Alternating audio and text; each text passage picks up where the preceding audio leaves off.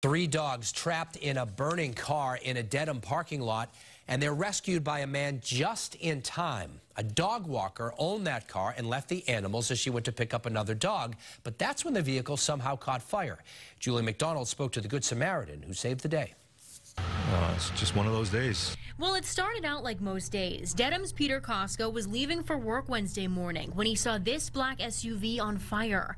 In the back seat, three very nervous dogs. I figured I've got time to get in there and get them out. Luckily, the door was unlocked. The first two jumped right out. Third Labradoodle didn't want to come out. He was scared and barking and stuff, so I had to go in the car, reached in, grabbed him, Turns out their dog walker was inside the apartment complex picking up another animal. Koska scrambled to find the leashes. That was about six inches away from grabbing the leash, and the car blew up.